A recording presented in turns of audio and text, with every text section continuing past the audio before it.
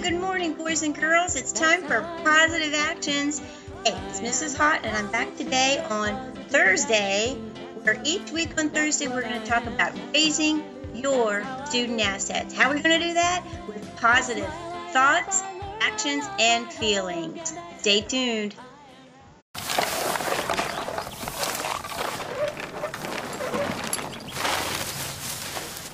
Hey, check it out.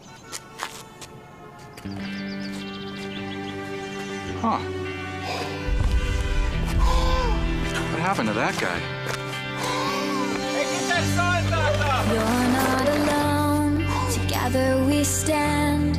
I'll be by your side. You know I'll take your hand. When it gets cold and it feels like the end, there's no place to go. You know I won't give in.